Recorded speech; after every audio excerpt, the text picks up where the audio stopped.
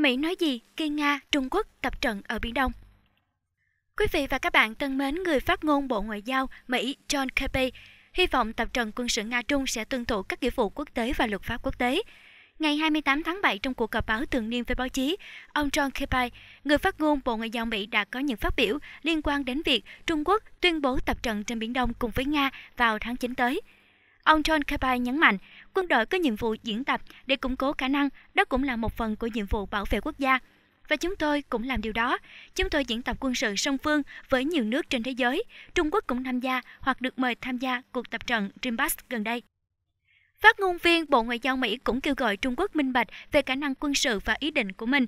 Ông cho biết cuộc tập trận quân sự của Trung Quốc và Nga cần phải tuân thủ luật pháp quốc tế. Ông Kirby nói với các phóng viên ở Washington, không cần phải gia tăng thêm các căng thẳng, các bài tập trận và các hoạt động là để trao dồi khả năng.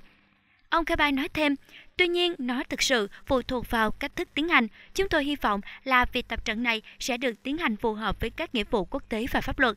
Trước đó trong cuộc họp báo ngày 28 tháng 7, ông Dương Phủ Quân, người phát ngôn Bộ Quốc phòng Trung Quốc cho biết, Trung Quốc và Nga sẽ tiến hành diễn tập hải quân thường kỳ trên Biển Đông vào tháng 9 tới. Ông Dương Phủ Quân nói, đây là hoạt động tập trận thường kỳ giữa hai quốc gia nhằm mục đích phát triển và nâng cao mối quan hệ hợp tác chiến lược Nga-Trung. Cuộc tập trận này không nhằm vào bên thứ ba nào. Theo kế hoạch, tập trận sẽ có sự tham gia của hải quân và không quân, địa điểm cụ thể không được thông báo chi tiết. Các bạn vừa theo dõi video Mỹ nói gì khi Nga, Trung Quốc tập trận ở Biển Đông. Hãy cho chúng tôi biết suy nghĩ của bạn bằng cách comment bên dưới. Nếu thích video này, hãy like và chia sẻ cho bạn bè.